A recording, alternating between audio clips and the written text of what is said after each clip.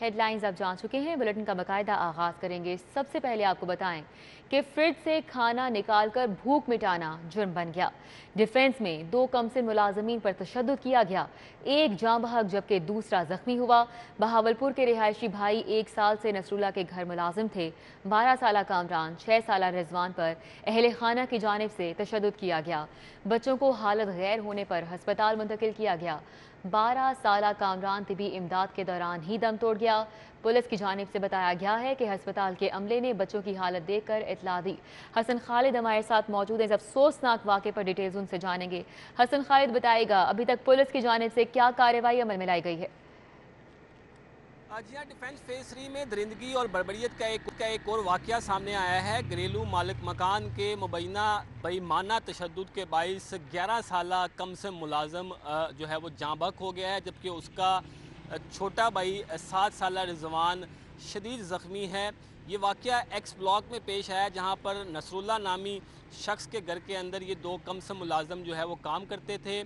Fridge के अंदर से बग़ैर पूछे चीज़ खाने पर तैश में आ गए और अहलहाना की जानब से दोनों कम सिम बच्चों को बेईमाना तशद का निशाना बनाया गया, जिसमें एक बच्चा ग्यारह साल ज़ख्मों की ताब ना लाते हुए हॉस्पिटल पहुंचकर जहाँ बक हो गया, जिसकी शनाख्त कामरान के नाम से हुई है, जबकि उसका छोटा भाई सात साल रिजवान ज़ख्मी हालत में जनरल हॉस्पिटल में जेर इलाज है। नसरुल्ला नामी शख्स जो है, ये अपने भाई महमूदुल हसन के हमरा जो है, वो इन बच्चों को ज़ख्मी होने के बाद अपने तौर पर आदिल हॉस्पिटल डिफेंस में लेकर गया, जहाँ पहुँचने पर इसने बहाना बनाया कि ये आपस में लड़े हैं, जिसकी वजह से इनको जो ये ज़ख्मी हो गए जिस पर हॉस्पिटल इंतज़ामिया ने शक का इजहार करते हुए पुलिस को इतला दी। पुलिस मौका पर पहुँची तो पुलिस ने मौका पर पहुँच जब तमाम मालूम इकट्ठी की तो बच्चों के जिसम पर बेमाना तशद के निशानात मौजूद थे, जिनमें एक ग्यारह साल बच्चा ज़ख्मों के नान, ताब ना लाते हुए दम तोड़ गया था। पुलिस ने फौरी तौर पर कार्रवाई करते हुए तीन मुलजमान को गिरफ़्तार कर लिए है, जिनमें नसरुल्ला महमूद हसन और शाजिया बीबी खातून शामिल है, जबकि दो अफराद इस वक्त जो हैं वो मफरूर हैं, जिनकी तलाश के लिए पुलिस जगह जगह पर छापे मार रही है। इब्तदाई तौर पर पुलिस का ये कहना है कि दोनों बच्चे बहावलपुर के रहायशी थे और गुजशत एक साल से नसरुल्ला के घर में जो है वो काम कर रहे थे, जिसकी वजह से इन बच्चों को जो है वो एक तो पंजाब रिस्ट्रिक्शन एक्ट के तहत कम सिम होने के बायस भी घर में काम करवाया जा रहा था और पुलिस ने मुलजमान के ख़िलाफ़ मुकदमा दर्ज करके कानूनी कार्रवाई का आगाज़ कर दिया, जबकि कम सिम बच्चे की लाश को पोस्टमार्टम के लिए जनरल हॉस्पिटल मुंतकिल कर दिया है। पुलिस का ये कहना है कि ज़ख्मी बच्चे की मेडिकल रिपोर्ट आने के बाद और पोस्टमार्टम रिपोर्ट आने के बाद मज़ीद हक़ सामने आएँगे और बहुत जल्द जो मफरूर मुलजमान हैं, उनको गिरफ़्तार भी कर लिया जाएगा। सी सी पी लाहौर ने इस वाक़े पर नोटिस लेते हुए पहुँचाने के लिए सख्त से सख्त इकदाम करने की हिदायत की है। ठीक है हसन हमारे साथ ही रहेगा। आबिद चौधरी भी हमारे साथ है उनका रुख करेंगे उनसे जानेंगे। आबिद चौधरी आप बताएगा पुलिस का अभी तक कहाँ तक पहुँची है और जो बच्चा जख्मी है उसकी हालत कैसी है?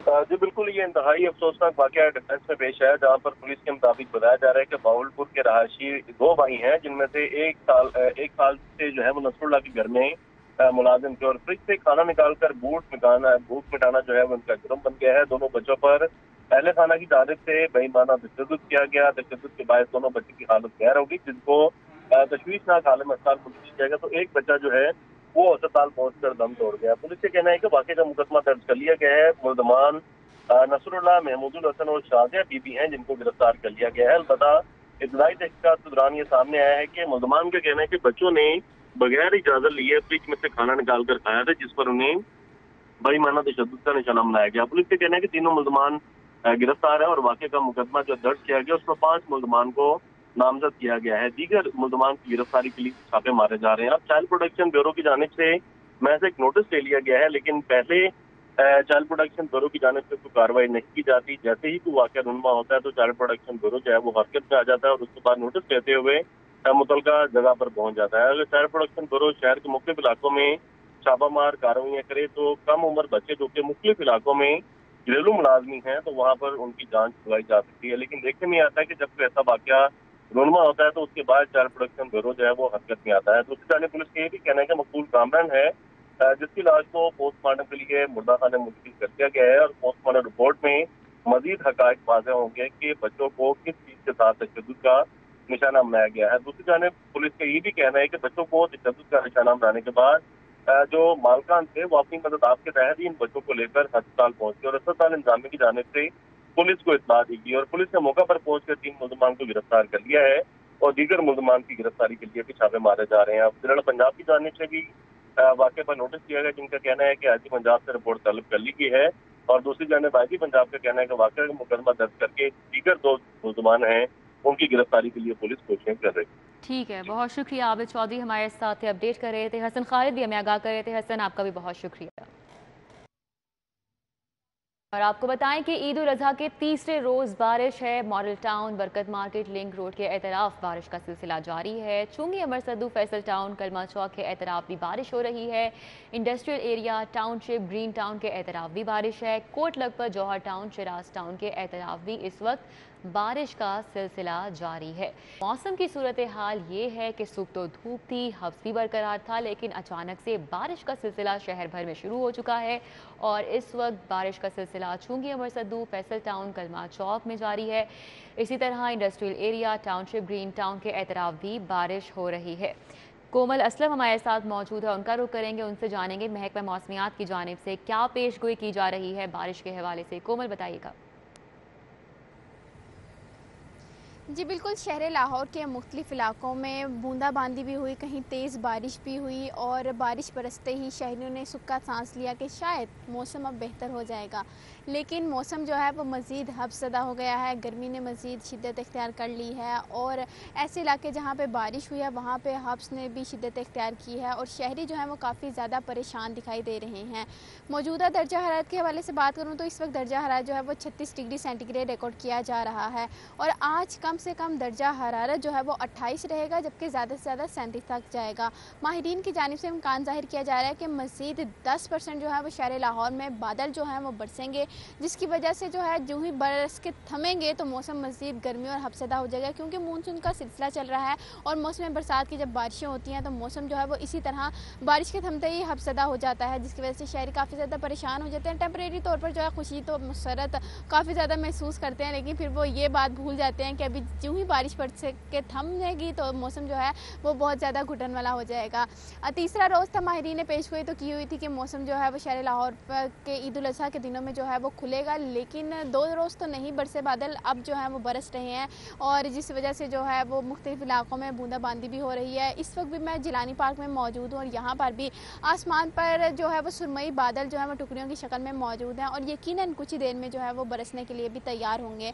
मैं आपको ये भी बताती चलूँ कि सुबह औकात में भी काफ़ी इलाकों में जो है वो तेज़ बारिश हुई है और तेज़ बारिश की वजह से जो ट्रैफ़िक हुकाम है उनकी जानब से शहरीों को हिदायत भी की गई हैं कि ऐसे लोग जिन्होंने सफ़र करना है दौरान सफ़र स्पीड लिमिट का ख़ास तौर पर ख्याल रखें क्योंकि ईद अजहा का मौका है शरारते लोगों को काफ़ी सूझती हैं तो वो जो है थोड़ा सा ख्याल ठीक है बहुत शुक्रिया। कोमल असलम हमारे साथ थी हमें तफसीला मौसम के हवाले से आगाह कर रही थी। ब्रेक के बाद आपको बताएँ कि ईद उल अजहा का तीसरा रोज़ शाहपुर कांजरा मंडी में जानवरों की फ़रोख्त का सिलसिला जारी है। दो रोज़ रेट ज़्यादा होने पर तीसरे रोज़ ख़रीदारी के लिए आए हैं। शहरी ये कहते हैं, हाफिज़ दिलावर हमारे साथ हैं, मज़ीद डिटेल्स उनसे जानेंगे। जी, हाफिज़ दिलावर।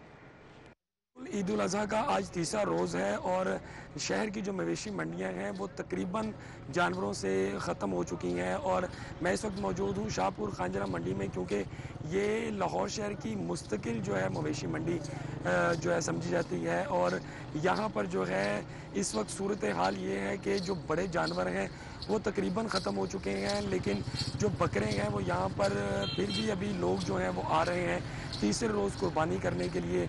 आ, हमारे साथ यहाँ पर एक शहरी मौजूद हैं जिन्होंने अभी यहाँ पर बकरा ख़रीदा है उनसे जानते हैं और उनसे पूछते हैं कि आज तीसरे रोज़ जो है उन्होंने ये बकरा ख़रीदा है और इसकी कब कुर्बानी करेंगे। जी सर बताइएगा। जी, ये मैं आज इसकी कुर्बानी करूँगा। और पहले दो दिन जो थे, वो बहुत महँगे जानवर थे तो जो मुनासिब समझ में नहीं आया। और अभी जो मैं मंडी में आया हूँ तो देखा तो बड़े जानवर जो है ना, ख़त्म हो चुके थे। अब बकरे वगैरह ही थे तो अब कुर्बानी भी हर साल मैं करता हूँ। तो इसलिए मैंने सोचा कि एक बकरा ही ले लूँ। अब तक कुछ मुनासिब लगा तो मैंने एक बकरा लिया है। अलहमदिल्ला सेहतमंद जानवर है अच्छा जानवर है। और इन शाला इसको जाके कुर्बान करेंगे अल्लाह की राह में। जी बिल्कुल आपने बात सुनी इनका कहना ये है कि आज तीसरे रोज़ भी जो है अभी कुछ देर बाद यहाँ से जाकर हम कुर्बानी करेंगे जानवर की और इससे पहले जो है मंडी का रेट ज़्यादा था जिसकी वजह से हम जानवर नहीं खरीद सके। ठीक है हाफिज़ दिलावर बहुत शुक्रिया। अभी आपको आगाह करें कि रात 9 बजे दुकानों की बंदिश का ईद पर ही इतलाक करने का मामला। अंजुमन ताजरान के कायदीन की ज़िले इंतज़ामिया पर कड़ी तनकीद। ताजरों की जानब से क्या कहा जा रहा है? शहजाद खान अब्दाली हमारे साथ हैं, उनसे जान लेते हैं। जी शहजाद खान, अपडेट कीजिएगा। पंजाब हुकूमत की जानब से ईद के अयाम में ताजर बरदरी को चौबीस घंटे कारोबार करने की इजाज़त दी गई थी, लेकिन गुजशत रोज़ डी सी लाहौर की जानब से ये अहकाम जारी किए गए। कि रात नौ बजे दुकानों की बंदिश का इतलाक ईद के दूसरे दिन से कर दिया जाएगा, जिस पर शहर की ताजर बरदरी का सख्त रद्दमल सामने आया है। और इस हवाले से सदर आल पाकिस्तान अंजमन ताजान खालिद परवेज, अशरफ पट्टी और कौमी ताजर इतिहाद के कायदीन कहते हैं कि ईद पर पहले ही पचानवे फ़ीसद कारोबार बंद है। जो पाँच फ़ीसद चल रहे हैं, उसको तो डीसी लाहौर जो है वो चलने देते इस हवाले से सदर आल पाकिस्तान अंजमन ताजरा खालिद परवेज ने यह भी कहा कि पंजाब हुकूमत इनको अहकाम कुछ और देती है और ये उसकी अलग ही तशरी निकाल लेते हैं। उनका ये कहना था कि ईद पर कौन सी ज़्यादा एनर्जी का ज़िया हो रहा है जो ज़िले इंतजामिया को फौरी तौर पर ईद के अयाम में ही इस पाबंदी का इतलाक करना पड़ गया, क्योंकि पचानवे फ़ीसद कारोबार शहर में बंद है, इसलिए एनर्जी तो पहले ही सेव हो रही है। तो पाँच फ़ीसद मजीद जो कारोबार चल रहे हैं, उसको बंद करके ज़िले इंतजामिया कौन सी एनर्जी बचाना चाहती है, ये समय से बाला तर है। अंजमन ताजरन के तमाम कायदीन तमाम दड़ों की जानब से ये कहा गया कि जिस तरह पंजाब हुकूमत की जानब से वज़ीर पंजाब ने ये अहकाम जारी किए थे कि ईद के अयाम में कारोबार खुले रहेंगे। जो पाँच फ़ीसद कारोबार खुले हैं, उनको ईद के अयाम में चलने दें और ताजर बरदरी के साथ ज्यादतियाँ करना बंद की जाए। जी। ठीक है, बहुत शुक्रिया शहजाद खान हमारे साथ अपडेट कर रहे थे। मुशीर वज़ीर अला ख्वाजा अहमद हसान से पार्टी कारकुनान ताजरों की मुलाकात हुई। ख्वाजा अहमद हसान ने कारकुनान और ताजरों को ईद की मुबारकबाद दी, मिठाई भी तकसीम की। पार्टी कारकुन अब्दुलरहमान मोहम्मद वकास खान, डॉक्टर सऊद मिर्ज़ा ने मुलाकात की। उसामा भट्ट, हमाद कुरैशी, हारून अहमद, शबीर गुजर खालिद हाशमी ने भी मुलाकात की। अहमद हसान ने ताजुर रहनुमा नईम मीर, सुहेल महमूद, शाहिद नज़ीर से भी मुलाकात की। फसीउल्ला हमारे साथ मौजूद हैं। इन मुलाकातों का हवाला उनसे जानेंगे। जी फसीउल्ला बिल्कुल, ईद का तीसरा रोज़ा और मुलाकातों और मुबारकबाद का सिलसिला जारी है। मशीर वजी पंजाब ख्वाजा अहमद हसान से सीनियर पार्टी रहनुमा और ताजर रहनुमाओं ने मुलाकात की है। ईद की मुबारकबाद दी है। साथ ही साथ जो शहर में दो रोज़ के दौरान सफ़ाई के इंतज़ाम देखे गए, उस पर खराज तहसीन पेश किया गया। इस हवाले से हमारे साथ मशीर वजी पंजाब मौजूद उनसे बात करेंगे ख्वाज साहब, क्या कहना चाहेंगे? तीसरा दिन है, आज का पैगाम है और किस तरह जो है इंतज़ाम को आज भी हतमी शक्ल दी जाएगी? बिसमिल्ल रहीम। बहुत बहुत शुक्रिया। सबसे पहले तो मैं आपकी वसात से लाहौर के शहरीों से उनको, उनका शुक्रिया अदा करता हूँ कि अलहमदिल्ला दो दिन उन्होंने एडमिनिस्ट्रेशन का बहुत साथ दिया, क्योंकि ये मामला मुमकिन नहीं था जब तक कि दोनों पार्टीज़ एक दूसरे का साथ ना दें। सो जहाँ एडमिनिस्ट्रेशन अपना काम कर रही थी, वहाँ आवाम भी अपना काम कर रही थी कि जो उनको बैग्स प्रोवाइड किए गए थे, अलहमदिल्ला उन्हें, उन बैग्स उन्होंने सही उसका इस्तेमाल किया और लाइशों को उसमें डाला। और फिर उनको हमने ठिकाने लगाया। सो मैं ये समझता हूँ ये उनको भी मुबारकबाद देनी चाहिए कि उन्होंने वाक़ता बहुत अच्छा अपना रोल अदा किया। जहाँ तक एडमिनिस्ट्रेशन का ताल्लुक़ है वहाँ वज़ी अजम साहब मोहम्मद शहबाज शरीफ साहब वज़ी अला हमज़ा शहबाज साहब दोनों ने बहुत अप्रिशिएट किया है।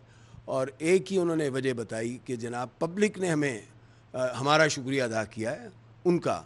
और उसकी वजह से उन्होंने कहा ये आ, हम फील करते हैं कि वाक़ता लाहौर के शहरीों को एक रिलीफ़ मिला ये ईद के जो दो दिन थे। मैं समझता हूँ कि जी ये एक अपनी मिसाल आप है कि देखिए जब एडमिनिस्ट्रेशन ठीक हो, जब लीडरशिप की डायरेक्शन ठीक हो तो अल्हम्दुलिल्लाह वही मशीनरी है, वही मामलात हैं, लेकिन अल्लाह के फल से आप परफॉर्म करते हैं।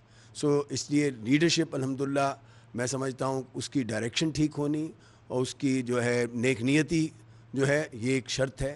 तो ये शबाज शरीफ साहब अब नोन है इस बात के लिए। हमजा शहबाज ने प्रूफ किया है, पूरे पंजाब के अंदर अलहमदिल्ला ये मामला ठीक हुए हैं। तो आज भी हमारा तीसरा दिन है ईद का, हमें पूरी उम्मीद है अल्लाह के घर के इन आज भी पब्लिक जो है हमारा साथ देगी और हमारी एडमिनिस्ट्रेशन इन उनके साथ मिलकर आज का दिन भी एक अच्छा ईद का दिन दिन होगा और साफ़ सुथरा दिन होगा इन यहाँ पर हमारे साथ मशीर वज़ीर पंजाब मौजूद थे उनका ये कहना है कि पहले दो रोज़ की तरह आज भी आवाम और एडमिनिस्ट्रेशन जो है ताउन के साथ काम करेगी और सफ़ाई के है बहुत शुक्रिया। खेल के मैदान से खबर यह है कॉमनवेल्थ गेम्स के लिए कौमी हॉकी टीम की तैयारियाँ जारी हैं। कौमी हॉकी टीम के तरबियती कैंप का आखिरी मरहला स्टेडियम में शुरू। सेशन में खिलाड़ियों ने फ़िज़िकल ट्रेनिंग से कैंप का आगाज़ किया। हाफिज शहबाज हमारे साथ हैं। मजीद तफसीत उनसे जानेंगे। जी हाफिज शहबाज। बिल्कुल कॉमनवेल्थ गेम्स की तैयारियों के लिए कौमी हॉकी टीम के कैंप का आखिरी हिस्सा जो है वो शुरू हो गया आज सुबह पाकिस्तानी हॉकी टीम ने यहाँ पे तकरीबन चार घंटे तक कैंप में प्रैक्टिस की अगर इस कैंप के हवाले से बात की जाए तो ये कैंप ईद की छुट्टियों के बाद, आज से दोबारा शुरू हुआ तीन रोज़ की छुट्टियाँ ईद के दिनों में दी गई थी और गुजशत रात कौमी हॉकी टीम के तमाम खिलाड़ियों ने इस कैंप को ज्वाइन किया था और आज सुबह इस पर ट्रेनिंग का आगाज़ हुआ है। फ़िज़िकल ट्रेनिंग से कैंप का आगाज़ किया गया और उसके बाद खिलाड़ियों की मैच फिटनेस को जांचने के लिए उनके दरमियान एक मैच करवाया गया है। भरपूर तरीके से यहाँ पर प्रैक्टिस का आगाज़ हुआ है। अगर इस कैंप के हवाले से बात की जाए तो कौमी हॉकी टीम के गैर मुल्की हेड कोच सेग्रीफाइड एक्मन जो है इस कैंप की निगरानी कर रहे हैं। उनके साथ साथ अजमल खान जो कि टीम के मैनेजर हैं और कोच हैं, वो उनके अलावा समीर हुसैन डैनियल बैरी और बॉब जॉन फ़ील्ड जो है, उनकी मुआवनत करने में मसरूफ़ हैं।